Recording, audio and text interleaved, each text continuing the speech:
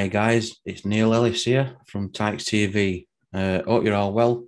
Uh, there's just been a bit of thing what's been going on for the last couple of days, to be fair, regarding board, uh, Conway, you know, Crimes Council and stuff like that in general. Uh, a lot of things seem to be gathering pace on social media. Um, just wanted to give my thought and tech on it kind of stuff. I know there's been a bit of stuff. Uh, if you look at his past videos the last couple of weeks, last couple of months. We've been calling it a bit. Uh, what's been happening? Uh, what what you know, foresee kind of thing. What's going to be happening uh, as regards to other clubs as well at Bjorn. Uh, a couple of bits of transfer news as well today. A couple of uh, other links as well. Uh, but my take on the situation, current situation at Barnsley Football Club. I think, as you're all aware, you all know that certain social media. There's uh, a group gathering pace over a thousand members like now as I speak uh, on about Conway out. Um, but when you know it can go a bit deep into detail, it could be also looking at rest at board as well. Uh, what's happening? Communication is a big big thing in this. It all seemed to be about uh, since the West End fiasco to be communication, even with the official media outlets, it's been quiet or non-existent. I know there's certain people in media from papers and might be trying to get in contact with uh, CEO Barnsley, and it's like very, very quiet at the minute. I've said all along that you know we've never been invited to a forum and out like that. Uh, fair enough. I've only took you know me and Luke have uh, taken over the channel but it'd be nice to get some kind of insight uh, just to let Pop ease ease the fans' worries. Um, and it's it, it's getting to a situation like now where it's it's getting bleak. You know, um, things going off, people, fans getting more disgruntled and bewildered as every day, every week, what goes past. To be fair, uh, could it be handled better? It's just communication or lack of communication. It's like silence is deafening.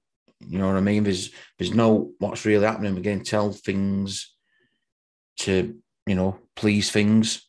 No, notes coming out, and you look at other clubs what they own. I know people say other clubs is not not our concern, but when you look into more detail and more depth of the clubs that own, the same predicament, the same situations, but varying, struggling wise, and the recruitment side and I keep going back. It's what uh, what Luke said as well is that recruitment's not been good enough for the recruitment in all areas. Backroom staff, what's gone, unbelievable, and it's like things off the pitch, and it's you know it's coming onto the pitch. There's some good people. I know some good people that work at the club. Uh, some very good people that work at club. I've known them years, going back years. You know, from shop marketing and all things like that. I've not specific naming certain areas or people because it's unfair to do that. But there is some good people there what actually, you know, put some hours in and keep that club ticking over for us as fans. This is the higher up above. Uh, people from Barnsley, the, you know, what watch this Barnsley board members don't like that uh, or relate back to them. Like I said, it's just a it's just a communication, a PR. Uh, what what's missing? What's missing? And we'll just call it as it is. You know, we're not. Uh, you know, it probably sound negative, and it's the same situation. You've got to understand that fans feel as well. There's no like link there. There's no, you know, I understand it's a business and that, not a problem. But at the same respect, we as customers are coming in and you know spending his hard-earned money to come and watch, to travel away, to buy merchandise, yeah, simple things like that, centenary societies, you know, all things that we're putting into club, and to get no communication out, you know, it's and this is this is the worrying thing. What what what's coming across to fans. So I'm just talking. If it, you know, if anybody from Barnsley, you know, Football Association, you know, in club itself, This is just like a, a plea from me, and there'll be thousands more, there'll be hundreds, you know, hundreds more, thousands more as we speak, all in the same position, wanting just clarification on certain things. I know it can't go into detail on everything. I know that. I know the situation about business and stuff. But in the same respect, got to be communicating with fans. The fans are getting unrest. Fans are unhappy. We can see, you know, every every game, everything what's happening all the time. It's it's confusing, frustrating. You know, you you you watching your club. I'm you know I'm watching my club. Every you know all fans here club. We're watching club, and it's suffering, and it's suffering, and it hurts to see. It hurts to see, and people say, yeah, it, you know, it will like this under crimes and stuff like. This is not, you know, this but this has got to alter. This is the standards. Our, our standards have got to alter. Ours as a club has got to alter. We can't be just going on by mediocrity. Mediocrity, yeah. We understand that we, you know, financial fair play and going out spending millions and millions of pounds on players and this other. But what we do want as a club is commitment and effort, talking, communication, We're as bands of people, as a, a community, we're always outspoken. Uh, we say it as it is, yeah, and we just won't say them back. But we, we just we're not getting out like that. But that's the frustrating thing about it. And you, you know, when we're asking questions, we don't want politician answers if we get answers at all. I'd rather be told the truth and it might hurt than to be told a lie and then further on down chain get find out that there's something else happened just just be honest. Just be honest. You know, we I'm I'm not reading too much into this because we're only like a week in about transfers and stuff like that, and people going, people coming in, or potential people coming in or going out. Uh, you know, there's still there's still weeks ago, but it's like when you when you're seeing stuff on social media, and people are talking. It's not people just like say oh, social media, but when people are talking in town, in clubs, in pubs, in ground when we when, you know when we've been at ground. Oh, we're going to have to be selling X, Y, Z player before we can even get fetch anybody in. You know what I mean? It's simple things like that. And I know you can't go into finances. I'm not expecting to come out with your spreadsheets of finances and you know say, well, we're all doing it." I'm not expecting that. But when things like this is happening and unrest is happening between fans or amongst fans, because we're going to get some people what's going to be what can I say? They're not going to be wanting to come out and say what they really feel in case they're going to feel they're going to get picked on or going to get uh, rubbished on, kind of thing. Yeah. So I've, I've had I've had fans message me, text me. I've had fans, oh, can you say this on your channel? Can you say that on your channel? Because, you know, I agree with what you said, but if, if I don't comment on it, then people might turn it around on me. And look, I'm not into trolling. I'm not into that. We've all got his own opinions, and people agree, and disagree. But in the same respect, it's got to be respected. It's got to be respected, and that's what us as fans are wanting to do. We're hoping uh, to get Luke uh, on today, uh, but is obviously we're working commitments and that, so we're going probably end up going to be doing a live sometime soon. Uh, and because we just want his own uh, uh, uh, opinions and thoughts. I know it's all been brushed on about with, you know, recruitment side and we're going over, you know, our stuff on that, but you got to you got to go back. It's not this this hasn't just this hasn't just happened this year. This hasn't just happened this year. It's been it's gone on for years and years. But the, the thing is, like now, when's it going to change? When's it going to alter? When are we going to get communication? When are, when are we going to have a purpose? Are we just settling for mediocrity and just go go down the leagues and be happy at that and just tick over and just sell a player here and there just to make a bit of money here and there? What is what is our ambition? What is us as a standard? Yeah, what is us as a, a blueprint to our plan, our future going forward? Since all we've gone down into like uh, well, pretty poor season, you know, shocking season to be fair. It, the the communication, the, the things coming out of the club is is gone, quiet, hush. I just I just don't get it, and like I said, I'm, people might, I don't know, agree, disagree with what I'm going to say, but I'd happily talk with someone from club, whether it be a one on one or a Zoom or whatever.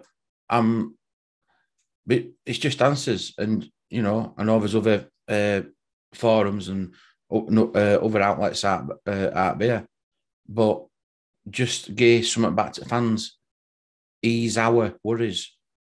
But at minute, his worries are just getting added on, added on, and added on. And every week what goes by, uh, goes by, what bit of hope we're having, it's slowly, slowly dwindling. And then people are having enough. And like I said, there's there's other things out there where uh, there's unrest on, on um, between fans and it, it's not good. It's it's it's bad. It's it's it's a bad environment. We should all be as one, but it doesn't seem like that. It seems to be alienated. It seems to be the club doesn't seem to me to belong to us as fans. We're we're the we're the blood. I've been going donkeys years, season ticket holder donkeys years. I remember him studying old brewery stand back in eighties, and then gave him a season ticket and then taking it on from there. I, I remember all them. I, I, remember three hard times. I remember the ups and downs and just managing to get by by a, you know, an Andy Rammell or a Saville, getting someone like that on cheap and and we'd just get by. But then start slowly going, and then the administration side of it, they're collecting, fundraising, trying to save our club, save our club hard to see, knowing that we're on brink, uh, well, going, on brink of going. Horrible, horrible, horrible times, dark times, worrying times. I felt sick, physically sick when I heard it. How something like this happen to a, my club, our club? Things have got to alter, and you have glimmers of hope you know, we, we you know, we, we, you know, in one hand we have the Premier League, and years later we, we could have gone out of business. And I appreciate what other people have done behind scenes, like you know, such as Patrick Crynes, God rest him when he came in. You know, he saved us. And so to move on, we just got by. But since then, probably his expectations were probably over exceeded, knowing that uh, current regime are coming in with all the, when you read it, when you look into it, billionaire owners and financial clout and that. And I get that we're not going to be spending 10, 15, 20 million pounds on a player. But if you ask any Barnsley fan, what they are wanting is investment. And they put up with selling a player for rate price. Yeah, not just getting by all the time and getting by all the time is no good. But we as our standards. I'm probably harping on a bit, but a bit too too much like now. But that's how I feel. That's how I feel, and I had to get somewhere because it's it's it's been on my mind for some time, and I'm just hoping it's going to change and change quick, change soon. Um, like I said, did a, a live over overnight and get some Q and A's going and that uh, between uh, your fans and that. So please, like you, you know, leave your likes and your comments and everything like that below. People probably disagree and agree with me, but I'll just ask, you know, just be respectful, um, because it's an outlet. I'm, I'm, I'm, I'm reaching out to you as fans. Uh, please spread the word. You know, I'm wanting, wanting people to get involved and, you know, spread it see what's happening. Get in contact with me. Uh, you, know, you know where I am. Um, I'm a Barnsley lad like we all are, and you, you're all probably feeling the same. You know, probably some probably you know probably even more than me. You know, always being you know for your own own reasons and, and things like that. Um, some people might you know slightly agree, slightly disagree it's all about opinions, in it? All about opinions. So yeah, that's that was just my bit of a tech on it. Um, sorry about being negative, but I just had to get some on there because it has been bugging me, and I've been wanting to do something for a bit. Um, so, like I said, I'll be well. I can get get on when when he's available and that, uh, work shifts and stuff. Um, so yeah, just going back to a couple of uh, rumours really. Uh, Tommy Doyle was on loan at Hamburg from Manchester City. Uh, I think Manchester City are about recalling him back. Uh, apparently, there's us, Blackburn, and Swansea who have been linked with him. Possible loan for the second part of the season, but currently at Hamburg. Uh, midfielder. So, you know, is it, could it be? You know, uh, could it be a, a solution for us? Could it be a bit of help for us? Because God knows we need it. Uh, but yeah, that's uh, a midfielder, Tommy Tommy Doyle, who's like I say, has been is on loan from Manchester City. And he's got a potential to be game recall back, and we're between us, well, between us, but we're amongst the other Blackburn and Swansea who'll be looking at you know possible uh, deal with that. The other one is uh, Freddie Ladapo from Rotherham United. He's put a transfer request in.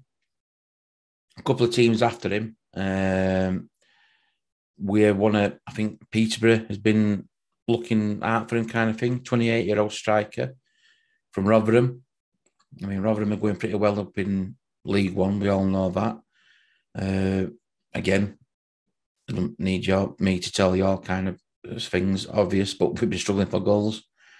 Could it be a solution to come in, Freddie Ladapo? Who knows? Um, like I say, these are just all rumours what have been happening in different parts of social media and stuff like that. Um, so obviously we're going to get linked with players all over because predicament that we're in. But you know, we're only this week into the season, aren't we? So we're going to, no doubt, this time next week we'll probably be another five, seven players that would be rumoured to be interested in. You're going to get your old um, rumours coming up surfacing about, about our players, you know, same old, same old Alex and your Collins and your Styles and your Woodrows. You're going to get all that. It's part and parcel of what gets fans talking, it what sells papers, you know, media and reactions and stuff. So there's going to be a lot more of that. Uh, so yeah, it the main point was sorry for just going covering that, but the main point was uh, just my thoughts on uh, the board situation, the lack of communication situation between club and fans. Like I say, please put your comments down and everything like that. And uh, I will read them. I do read them. I do reply to as many as I can. Just keep it respectful. Uh, appreciate you all for, you know, taking your time out. You you do, and you always take your time out to either join in, comment, or you know, watch this YouTube video. Hit the likes. Uh, for, so just a thank you from me uh, to all your Reds out there for uh, contributing and keeping this channel going. Uh, one thing left to say, you Reds,